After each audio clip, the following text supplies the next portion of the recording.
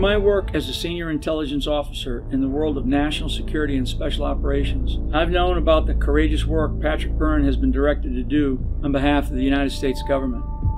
He has been unshakable when it comes to his relentless pursuit of exposing the deep levels of corruption within our government. For a man who thought that his life would be spent on overseas adversaries or working against the enemies of America, he found himself battling his own government.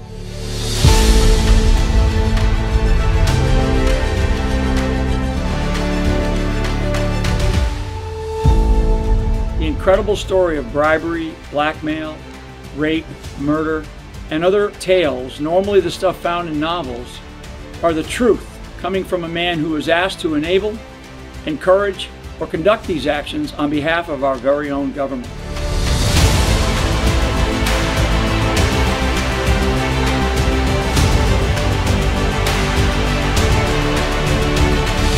Patrick's story is for real, he's for real.